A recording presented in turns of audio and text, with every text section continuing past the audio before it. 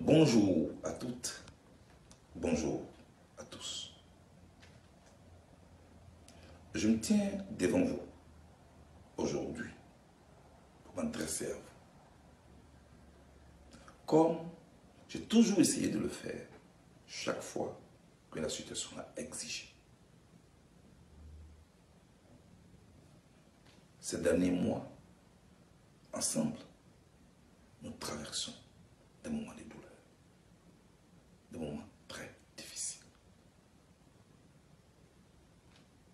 Mais aujourd'hui, je me tiens là pour vous annoncer une bonne nouvelle. Une nouvelle que vous attendiez tous. Une nouvelle que nous attendions tous.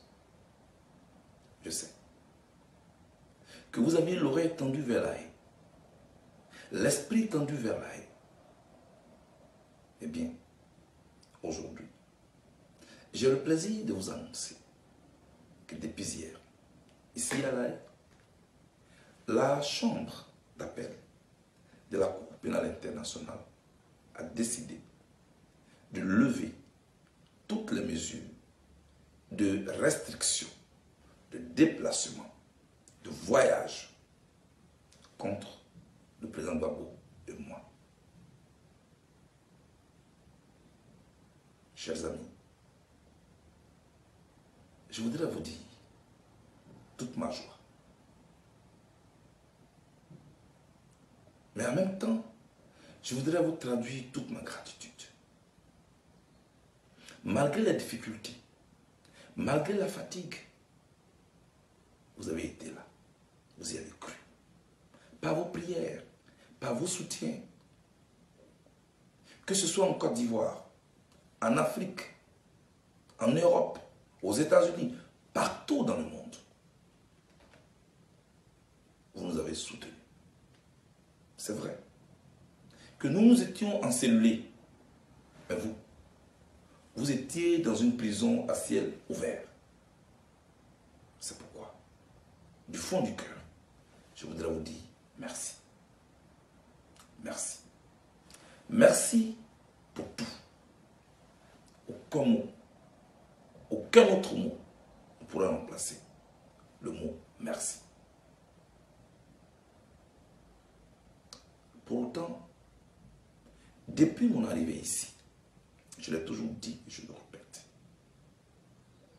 je ne cherche pas à triompher de qui que ce soit. Ce qui importe, c'était la justice, la vérité et non la réalité. Ensemble, nous devons savoir que nous avons l'impérieux devoir de rassembler de nouveau les Ivoiriens pour reconstruire notre pays. Parce que ne construit pas dans la division. cette décision, qui est certes une victoire, qui est certes un pas en avant, ne doit pas être considérée comme la victoire d'un camp sur un autre. Chers amis, c'est à Dieu que revient la gloire. Et je vous l'avais dit, ce que Dieu a commencé, il va terminer. À ce stade de mon propos, je voudrais vous lancer un appel. Continuez. Continuez de prier pour le président Laurent Gbagbo et moi. Le président Laurent Gbagbo et moi, nous avons toujours besoin de vos prières. Nous avons besoin de votre soutien dans l'union, dans la solidarité. Chers amis, aujourd'hui, au-delà de cette information, somme toute importante, je voudrais qu'on parle de notre pays. Car avant tout, c'est de cela qu'il s'agit. La Côte d'Ivoire.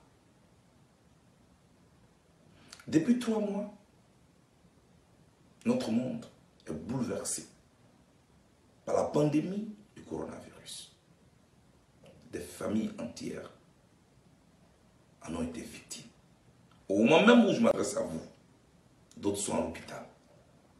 Nos habitudes ont été purement bouleversées. Je voudrais m'incliner devant la mémoire de ces personnes qui, malheureusement, en sont décédées. Souhaiter encore prendre établissement à ceux qui sont encore à l'hôpital. Demander et prier ceux qui sont encore en vie de bien vouloir respecter les mesures barrières pour protéger leur vie, pour protéger notre vie et la vie des autres. Au sujet de cette pandémie, je me suis souvent fois adressé à vous, soit pour rappeler le respect des mesures, soit pour vous inviter à la solidarité. Parce que pour moi, dans cette période d'incertitude, nous devons mettre en parenthèse nos différences, nos différents politiques. Pour faire preuve d'une solidarité agissante les uns envers les autres. Je vous avais, je vous avais lancé un appel autour d'une opération baptisée un acte citoyen pour soutenir notre blanche, c'est-à-dire le corps médical qui nous soigne quand nous sommes malades. Je me réjouis de votre grande mobilisation. Vous avez fait parler votre cœur de partout. Vous avez fait des dons, qui en masque, qui en dispositif sanitaire. Merci pour cette grande mobilisation.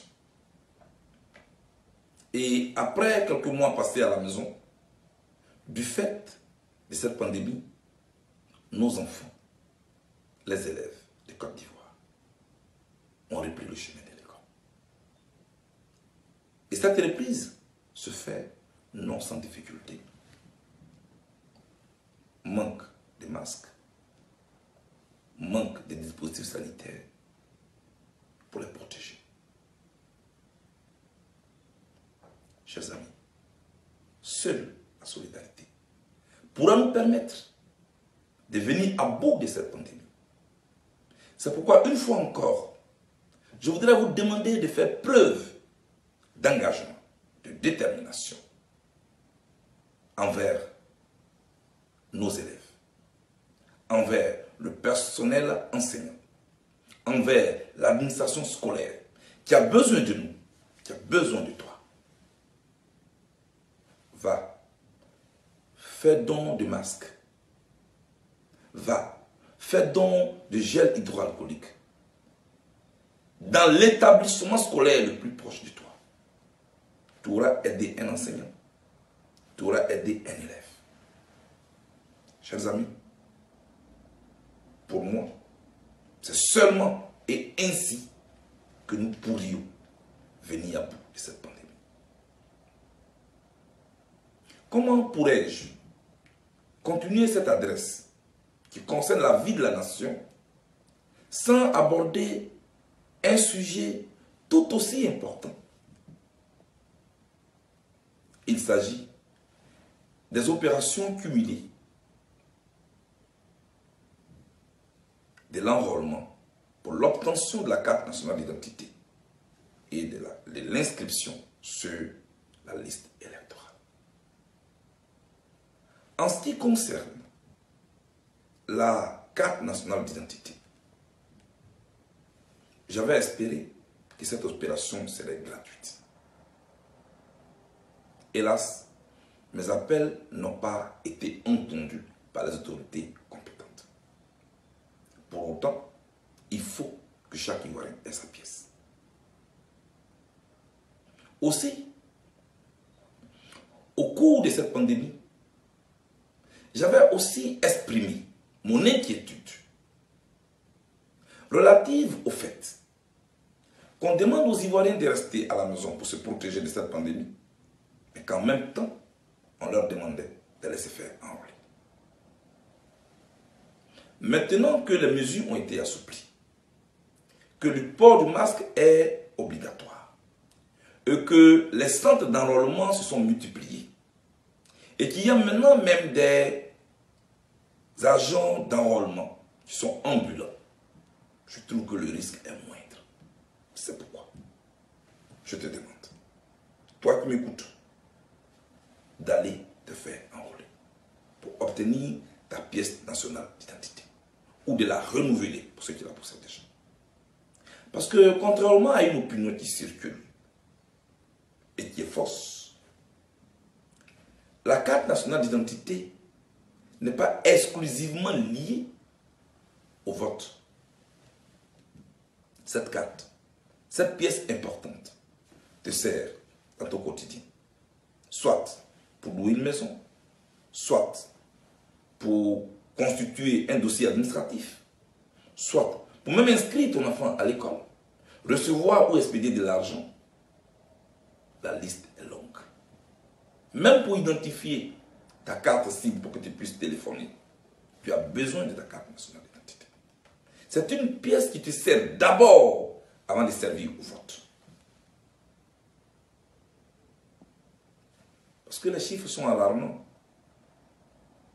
Sur 11 millions de pétitionnaires attendus, seulement 400 000 de nos concitoyens se sont fait enrôler pour l'obtention de la carte nationale d'identité.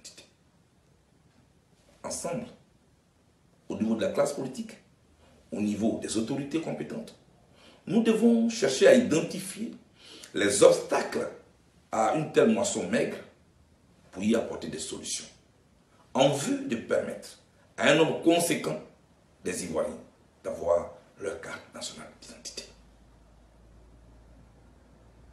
Comment?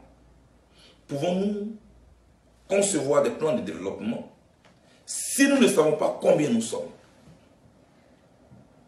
Voilà l'importance de cette carte. C'est pourquoi je vous encourage à aller vous faire enrôler.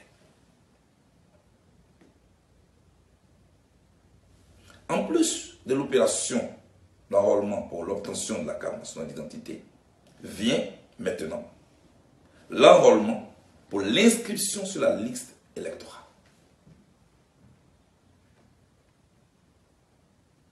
Là encore, sont attendus plus de 4 500 000 Ivoiriens.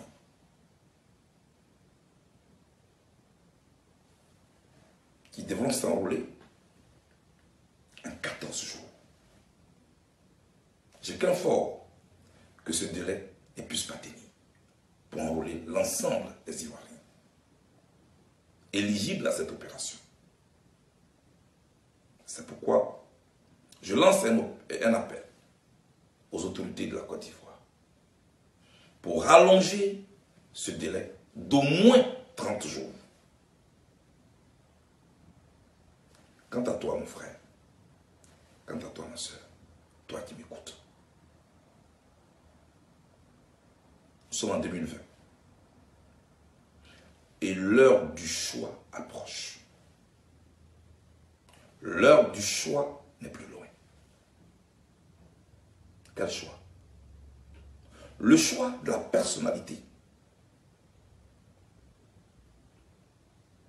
qui va décider pour toi dans les cinq prochaines années. Et ce choix ne doit pas se faire sans toi. Ne sois pas spectateur de ton avenir.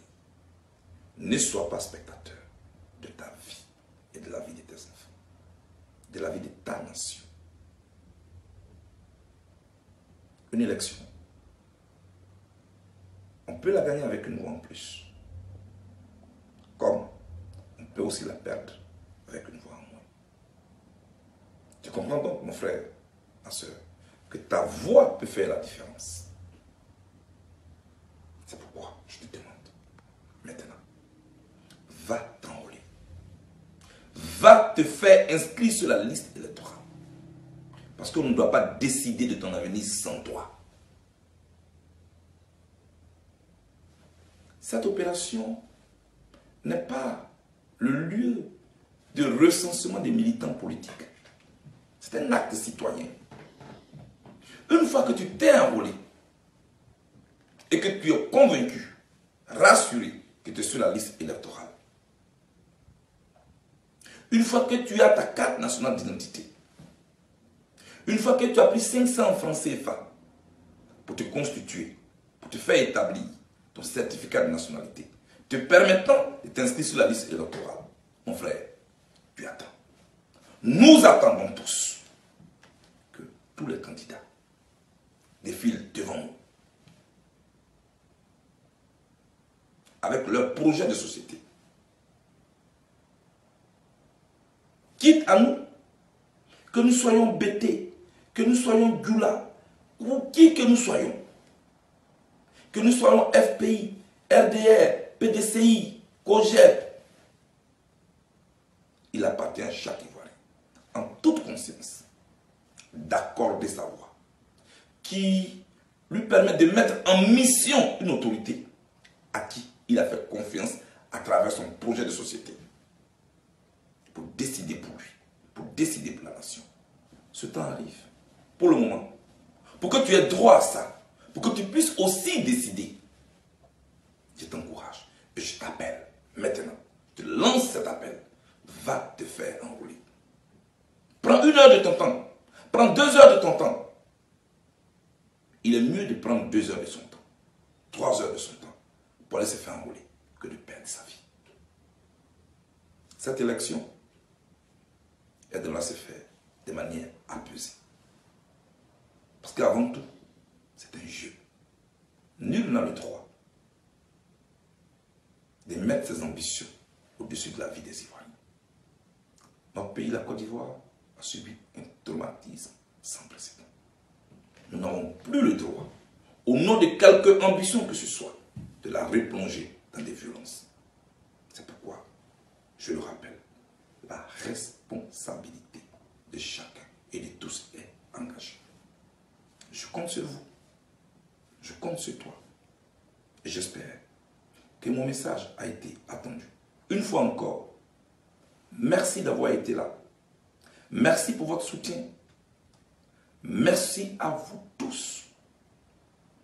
La situation que nous vivons actuellement appelle à l'humilité, appelle à la solidarité, appelle à l'humanité. La Côte d'Ivoire a besoin de toutes ses filles et de tous ses fils. Que Dieu bénisse la Côte d'Ivoire. Je vous remercie.